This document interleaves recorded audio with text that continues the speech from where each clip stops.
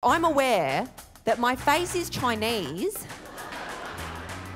but my voice makes it sound like I start fights at pubs. Sometimes I like to imagine my voice and my face as different people. You know, like my face would obviously be someone Oriental, and my voice would be someone who still uses the word Oriental.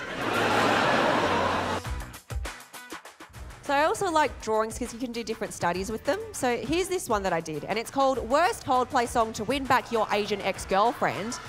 And from bad to worse, it goes Fix You, Princess of China, Yellow. it is a good joke, shush.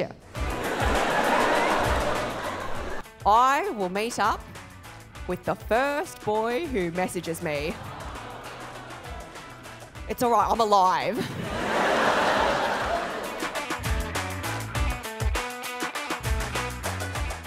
Not that I trust my parents, because here's the type of people they are. They named me Jenny, after Jenny in the 1994 film Forrest Gump.